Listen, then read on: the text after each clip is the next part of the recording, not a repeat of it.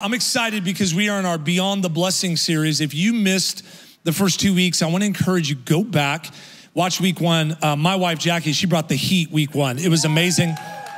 A smattering of clapter. Uh, I'm gonna say it one more time. Jackie brought the heat week one. Okay, it's better. Was a little bit better. Uh, last week, I did an interview with Dr. Scott Hagan. It was amazing. You can go back to our YouTube channel, check it out. We believe it will encourage you and help you. For week three, we're going to be jumping in in just a moment. I do want to give a shout out. We've got a gentleman who is a Hope City sponsored cowboy named Anthony Thomas. Uh, give it up for Anthony. And Anthony has made it to the semifinals in the Houston Rodeo, y'all bareback bronco riding. When I watch him ride, I literally text my chiropractor. I'm like, I'm gonna need an adjustment. It's unbelievable. Uh, he rides next Thursday, say next Thursday, the 17th. I think Hope, Hope City should re- represent show up, show off, shout him down, and show up next Thursday at the rodeo. How many of you guys have gone to the rodeo? You're excited about the rodeo? Okay, if you're watching online, you don't have any idea what we're talking about, come join us next year at the Houston Rodeo. Uh, I like the rodeo myself. Uh, I've been, we've been multiple nights. I have a little bit of a strategy. I've gained upwards between seven and nine pounds of rodeo weight. Uh, and I have a strategy I'm gonna let you guys in on a little bit before we jump into the word today. Uh, so, what I do is, as soon as I get there, after we park, before we even go down to our seats, uh, I go and I get what I feel like is the Lord's will. It's a loaded brisket potato. Uh, if you have not experienced it, amen. Like it's, it's all the glory and everything. God just touches it and says it, it is blessed. And then I and I and I run parallel in the other hand with a loaded brisket nachos. Yes. Uh, it's a team lift effort. I'm feeding for four people. I'm trying to gain weight for a movie role. Amen. It's a, it's a joke. Uh, and then I wash it down with cotton candy. Come on, rodeo life. Uh, how many guys have eaten the uh, fried Oreos? They have fried butter. That just seems wrong but I'll try it. Amen. So next week, uh, next week we want to encourage you. Anthony Thomas, he's one of ours. He reps Hope City, but more importantly, he reps Jesus with his Hope City patches. Let's give it up for Anthony Thomas. Come on, I know he might actually be in the room today. Love Anthony. For week number three of Beyond the Blessing, I want to encourage you if this is your first time or if you've been a part of Hope City for any amount of time, you know the importance of us staying learners. We position ourselves to grow. Statistically, if you've been around, you've heard me say it, but I'm gonna say it again because repetition is key. If you're a hearer only, you'll only retain 5%.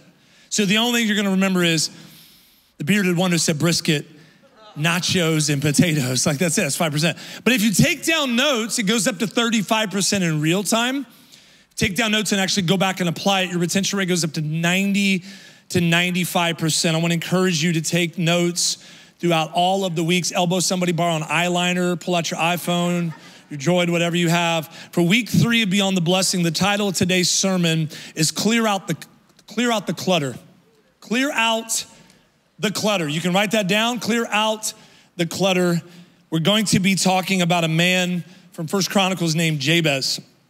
Jabez was a man who dared to pray an, one audacious prayer that we're going to look at today, but we know that he had a prayer life. He had to have had other prayer moments because the audacious prayer that he prays in this moment, and for the sake of the series talking about the blessing, we're going to focus in on that. But Jabez got God's attention, not from a religious standpoint, but you can tell there was a posture from like a son to a father. So we're going to read in First Chronicles chapter 4, verse 10. God bless the reading of your word today. The Bible says, Jabez cried to the God of Israel, saying, Oh, that you would bless me. I love that because there's boldness in this. Oh, that you would bless me and enlarge my border, and that your hand might be with me, that you would keep me from evil so it might not hurt me. Read this last line with me, wherever you're watching from. And God granted his request. Let's pray before we dive deeper today. God, give us ears to hear you, a mind to understand, most importantly, a heart ready to receive. God, our prayer today is that we can pray this type of bold prayer and have a story that says, In God granted my request. If you believe it, say amen. So I love Jabez. Now I'm coming in hot, y'all. I've had a lot of espresso.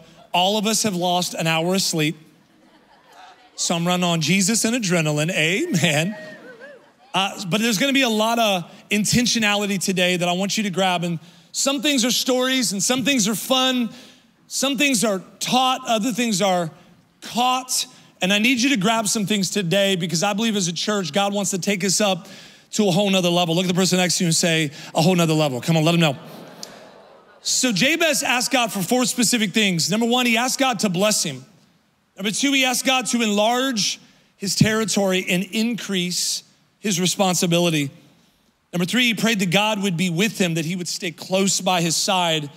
And number four, he asked God to protect him, to keep him from harm. In this series, we've been going through the purpose and blessing and the reason God chooses to entrust blessings to us. But Jabez is different. As we are reading this, we don't actually see beyond the blessing or find out the legacy that followed his blessing. It's interesting that with Jabez, we see a glimpse of this prayer moment for blessing, but we don't actually see beyond it. When we look at people like Daniel in the Bible or Joshua, Joseph or Abraham in Genesis or Moses in Exodus or even Mary in the Gospels, we see less of a glimpse of their prayer life, but we can clearly see the legacy of the blessing that followed them. I've been studying blessing. We've been going throughout this series. I've been looking at the word blessing, and sometimes there's a misconception when you say the word blessing. People are like, oh, they're gonna talk about money. Talk about favor. Oh, they're only gonna talk about money. That's an aspect of blessing, but there's so much more to the blessing of God. The blessing of God pours out on his people, and it's often received by a certain type of person. Watch this. The mark of a great man or woman of God is in combination of both audacious faith and diligent obedience both audacious faith, bold prayers, and diligent obedience. Because when you're faithful and growing in audacious faith and diligent obedience, listen to me, faithfulness isn't always fun, but I'm telling you, it is always fruitful. And so when you are allowing God to develop this audacious faith from a mustard seed moment to where you're praying for somebody in a wheelchair to get up and walk, there's audacious faith moments that you'll realize, whoa, whoa, I feel my faith growing. I feel like I'm getting stronger. I feel like there's a word in season. I feel like there's a prophetic declaration. When you begin to rise up and you grow in this combination of both audacious faith and diligent obedience, it's a recipe for God to show up. The story of Jabez confirms this in First Chronicles chapter 4 verse 9. The Bible describes him as a man of honor and more honorable than his brothers. So as we read and we look at this, you can see since Jabez's life was mentioned, he must have been a man of considerable integrity. While many of us ask for the blessing, the truth is the blessing actually comes with sometimes a weight. The weight of a blessing. The Bible says in Luke chapter 12, verse 48, the Bible tells us, To whom much is given, watch this, much is required. Jabez possessed the character to carry. It's a question you should ask yourself Do I possess the character needed to carry the kind of blessing God wants to provide? Thank you for your overwhelming enthusiasm. No, no, do you? I know this is sobering. Some of you are like, Not me. That's what you wrote down. You're like, Nope. No, no, ask yourself that question Do I possess the God foundational character to possess what God wants to and carry what God wants to bless me with Oftentimes, as Christians, we pray these bold prayers, but we won't prioritize the life of character. We prioritize, I'm gonna pray, I'm gonna spend time with God, but our character is flawed. Again, this is not a legalistic issue, this is a holiness issue. Again, this isn't a legalistic issue, this is a righteousness issue. Do you wake up saying, How close to the line can I live without splitting hell wide open. Amen. How close to this line can I touch where people know I'm a Christian but don't know I'm a Christian? We pray these bold, prioritized prayers, but the truth is, do we live a life of character? In order to walk in true biblical blessing, we have to prioritize both. Because here's the truth you can't stop the blessing of God, but you can block the blessing. You can get in the way. That's called free will. You can get in the well. You can get in the way of what God wants to do out of the wellspring of what He wants to provide. God answers prayers, but are we prepared to receive what He's providing? sometimes in my uh, studying, uh, I have a few different, uh, few different styles. Sometimes I, I, talked to you guys about this a few weeks ago. I'll turn on Animal Planet in the background. I don't have any idea why. Just animals running, and uh, I don't know, it's just inspiration. I'm like, look at nature. I don't know. Uh, but this week, when we were looking at uh, clearing the clutter, I wanted to look up some stats about storage units. How many guys have a storage unit? Like you, you have just too much stuff, so you're like, I low key need it. None, none of you. This is amazing. Now, how many of y'all, wait a minute, you got a storage unit? Okay, so here's some fun stats. Uh, in America, there is 1.5 billion, with a B, square foot of rentable storage space around America. 1.5 billion. They say 1.5 billion square feet. They say that's over 26,000 football stadiums worth of space. Because we have a lot of extra stuff. Yeah. Now, I'll be honest, I've got a storage unit, climate controlled. My wife's like, you need to throw out that stuff. And I'm like, nope. If there was a flood in that area and all of it was ruined, I could hardly tell you what's in there other than Wheaties boxes with cereal in it from 1996 with Michael Jordan's face on it, okay? How many guys are low key hoarders? Come on, wave at me if you like, you're like, I'm not talking about collectors. Some of y'all are collectors, it's a little different. We'll talk about that a little bit more in just a moment. But there are some things in there that I could stand to clear out. There's some stuff in there that I would not miss that I could probably throw out. What's interesting is if maybe you're here today and you say, hey, Daniel, Man, I actually wanted to bless you with an entire living room set. I have a storage unit that's climate controlled, that's big enough to hold it, but it's so full, I couldn't even receive it. And a lot of times we live our lives like that. We have a lot of useless clutter, a lot of relationships that are taking up space. Come on, somebody. We've got things in our lives that are muddying the waters of our ability to hear what God is saying. In the same way, we have these things in our lives where God's like, hey, I've got a blessing placed right in front of you. And when I provide it, the truth is, you don't have any room to receive it. It's gonna be real for a moment. Maybe you've been praying for a spouse, but you haven't fully surrendered a lust problem or an issue that's blinding you from being able to see what is best and what's in front of you. Maybe financially, God has been entrusting you or wants to entrust you with more, but because you've lived so close fisted in your approach to giving and sowing, that God's like, hey, I can't bless you with more because you won't even release what's in your hand. And if you won't release what's in your hand, I can't release what's in my hand. Are you prepared to receive it? Whatever it is, receiving God's blessing has to be a combination of both courageous prayers and consistent character. We have to posture ourselves for an outpouring. I really want to be a man like Noah who have, has audacious faith enough to pray and believe and build a boat before I've ever seen a drop of rain. And the truth is, when increase and opportunity come, it's too late to prepare. When increase and opportunity hits your doorstep, it's too late to prepare or make room so the question is that not will God pour blessings out on me, because He will.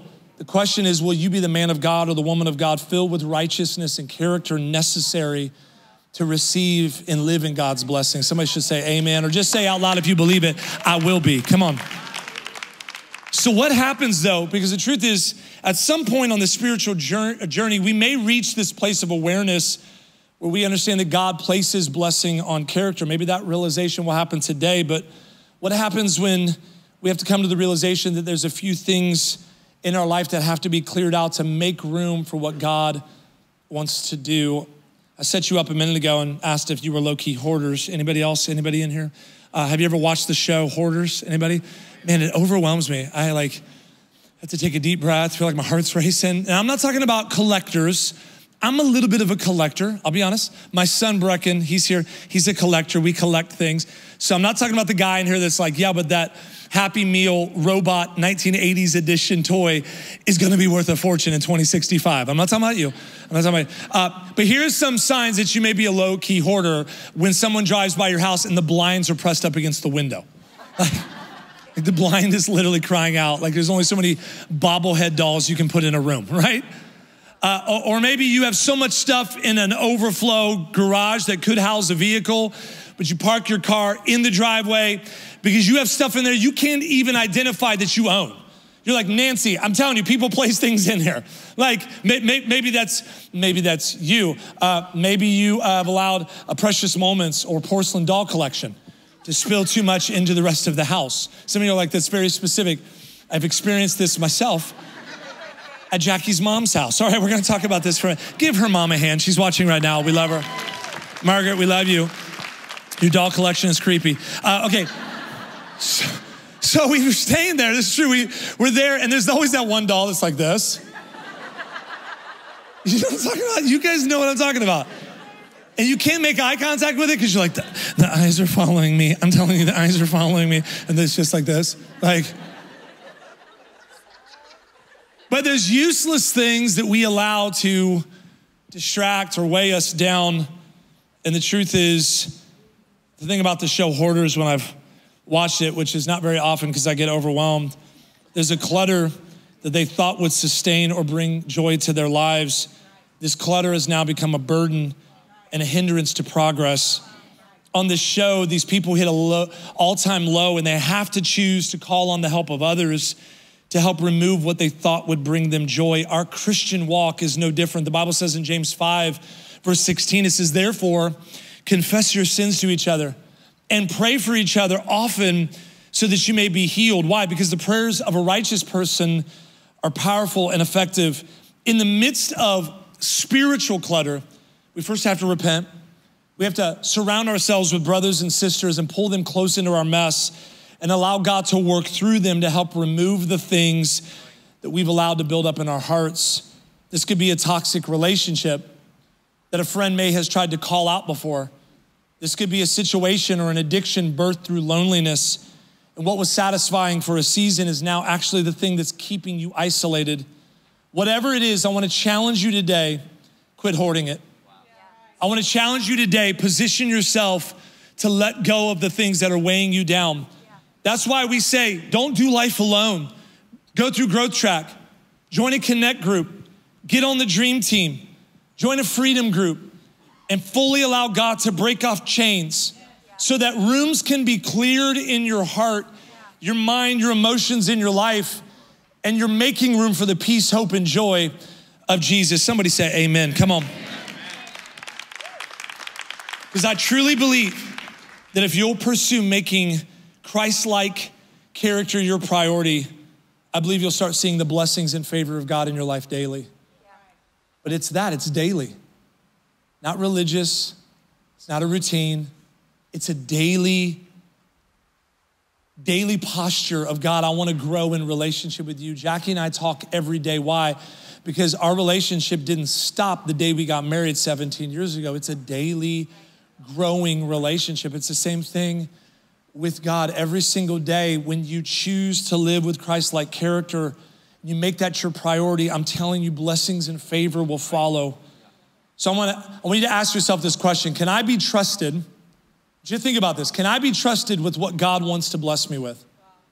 Can I be trusted with what God wants to bless me with? Luke chapter 16, verse 10 says, Whoever, that's us, can be trusted with little, can also be trusted with much. But whoever is dishonest with very little will also be dishonest with much. Ask yourself that question Can God trust me? I remember when Jackie and I, uh, there would be something that God would be stirring in us, and we kind of took the posture like, well, God, one day when you provide and you bless me, if something happens, uh, you know, unexpected increase, God, we're gonna sow we commit, and we did. We got together, we prayed, and we said, God, if you'll provide it, because we believe every farmer gets to keep a little seed himself, right? But the truth is, it's not about close handed, it's an open handed posture. God's not trying to get something from you, He's trying to get something to you and through you. So when you live open handed, you say, God, if you'll bless me, I'll bless others because I know that you'll always fill it back up and that I can bless more. And then you'll fill it up and I'll continue to bless more. Whether that's in serving, whether that's in time, talent, or treasure, God, I believe that when I live open handed, so that was our posture. We don't have any kids, our bills are a lot lower. God, if you'll bless us, we'll be a blessing. And then unexpected increase came and we're like, hey, Lord, uh, maybe next time, you know. Uh, I know we said this, and uh, maybe, you, I know you blessed us, but maybe How many guys, let's come on, be honest. How many guys have experienced that? You're like, God, if you'll bless me, I'll bless others. And he blessed you. And you're like, you have not because you ask not. And I did ask, but uh, no, no, no. We committed to God to be faithful with our word that if God blessed us, we would bless others out of the overflow of that blessing. And you know what? Like a domino effect, we've seen God continue to bless, continue to move because he's looking for people who will just say yes and be willing. Do you? So my question is, are you willing? Blessing is built on character. So when it comes to living a life like Jabez, who we've seen as a man of audacious faith, of honor and character, there's three things I want you to write down that we can take from this verse and we can apply to our own lives. Number one, we have to live a surrendered life. We have to live a surrendered life. This is getting your yes out of the way every day. This is waking up and looking in the mirror and saying, God, I want to be more mindful of your agenda, not my own. God, if you'll trust me to say it, I'll say it. If you trust me to give it away, I'll give it. If you ask me to show up and be present and serve, I'll show up. I get my yes out of the way because people matter to you, so they matter to me. So, to live a surrender life is a posture where you go in a position of who you are and whose you are. Jabez said, Oh Lord, that you would bless me. He didn't say, Hey, God, um, not sure if you remember me, Jabez. And God's like, Jabin? No, it's Jabez. It's different. Boaz? No, that's another guy. Uh, Jabez. No, no, he had a relationship. And out of the overflow of his surrender, God granted his request. Number two, y'all, we have to learn to pray audacious prayers. We talk a lot about everything that's happening around us because there's a lot happening around us inflation, gas prices, Russia, Ukraine. Everything surrounding us feels chaotic and heavy.